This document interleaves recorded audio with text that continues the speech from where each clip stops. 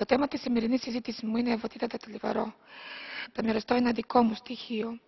Στην έκθεση που ετοιμάζω για λογαριασμό της Επιτροπής ΦΑΜ για το οικιακό προσωπικό και εργαζομένος φροντίδας, διαπίστωσα με θλίψη πως ένα κομμάτι αυτού του τομέα εργασίας τροφοδοτείται από την παράνομη εμπορία και διακίνηση ανθρώπων.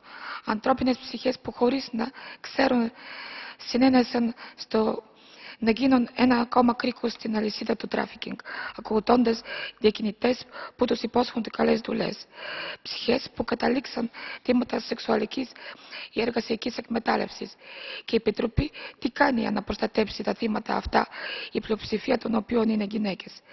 Βρίσκεται για άλλη μια φορά πίσω από εξελίξεις, καθυστερώντας ακόμα και τα και να αξιολογήσει τα μέτρα που η ίδια ζήτησε από τα κράτη-μέλη να λάβουν προκειμένου να αντιμετωπιστεί το πρόβλημα της παράνομης διακίνησης ανθρώπινων ψυχών.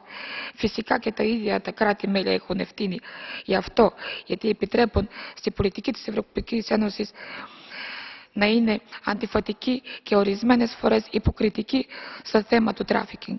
Αν και η Ευρωπαϊκή Ένωση θέλει να φαίνεται αυστηρή σε ό,τι αφορά τα θύματα παράνομης διακίνησης, ταυτόχρονα με τη μεταναστευτική της πολιτική, όμως όπως αυτή εφαρμόζεται σήμερα, εμμέσως επιτρέπει το φαινόμενο.